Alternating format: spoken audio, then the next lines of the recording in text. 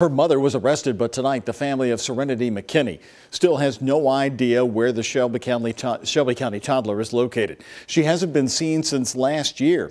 WHAS 11's Tom Lally is back in Shelbyville. He's been talking with the Sheriff's Department to explain the timeline, and we have an update on their search.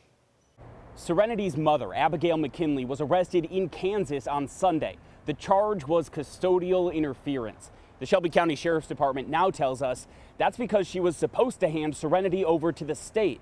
But that never happened.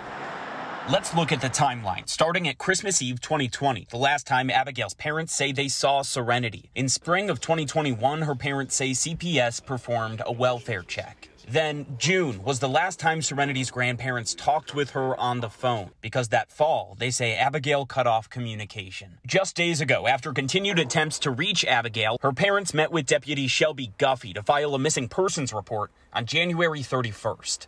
It's hard. I mean, I'm a mother myself. I would be it would be a complete nightmare to not be able to see my grandchildren or my child. So. She entered Serenity and her mother Abigail into the missing persons database, then executed warrants in Shelby, Bullitt, and Jefferson County where they believe Abigail had lived. Finally, on Sunday, Abigail was found in Kansas, where she was served, the state of Kentucky taking emergency custody of her child. But Serenity was nowhere to be found when they asked Abigail where she was. Uh, she just invoked her Fifth Amendment right not to speak to law enforcement. Captain Kyle Tipton said that's why tips are so crucial as they continue to search for this missing four-year-old. Tips have, have helped us in this investigation, and without them, uh, we wouldn't be where we are today.